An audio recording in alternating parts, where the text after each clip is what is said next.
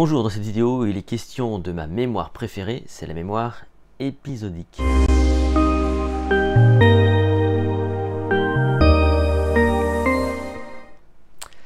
On a tous en tête notre Madeleine de Proust, ce petit stimulus qui vous ramène en mémoire de l'information, notamment par les odeurs.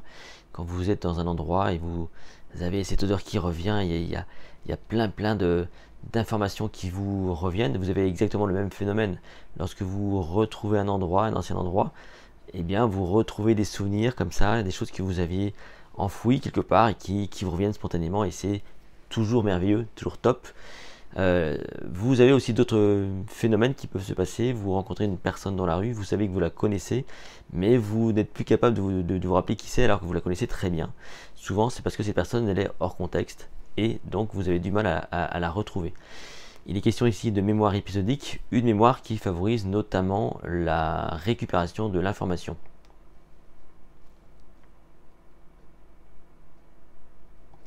La mémoire épisodique fait partie de la mémoire à long terme.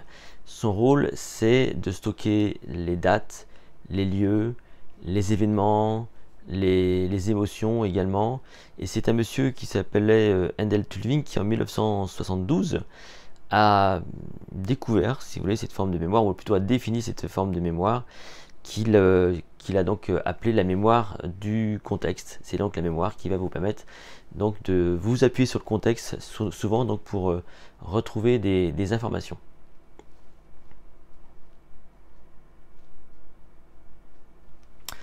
La mémoire épisodique, c'est une mémoire en lien avec euh, l'encodage et qui va donc vous permettre, donc au-delà de la compréhension de l'information, d'aller chercher des, éléments spatiaux, des éléments temporels qui vont vous permettre de mieux fixer l'information et quelque part de, constituer dans votre cerveau une forme euh, d'album photo. Donc euh, ça va vous permettre donc d'aller chercher des, détails au niveau perception, au niveau sensoriel.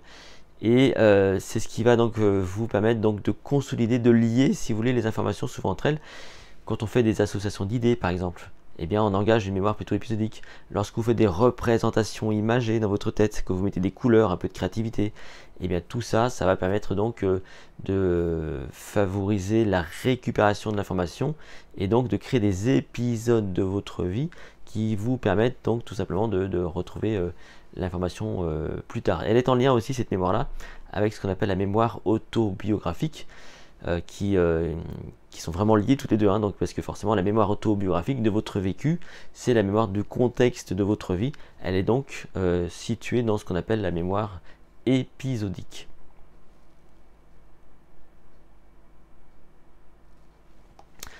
En pratique, cette mémoire, elle permet donc de récupérer l'information.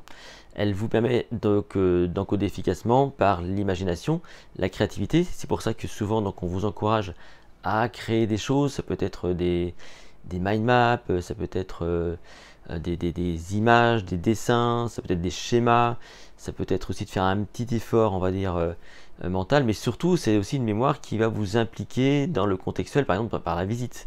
Admettons que vous appreniez euh, une leçon d'histoire, par exemple. Alors idéalement, ce qui serait super intéressant, euh, d'histoire ou même de géographie, eh bien, c'est que vous appreniez l'information dans le contexte qui va bien.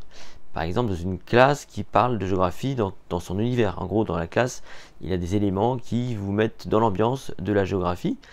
Et euh, l'idée, c'est que ça fasse émerger chez vous des émotions, des ressentis. Vous savez, c'est comme dans une bibliothèque où il y a plein de vieux livres, avec euh, vous savez, beaucoup de boiseries, etc. On s'y sent bien.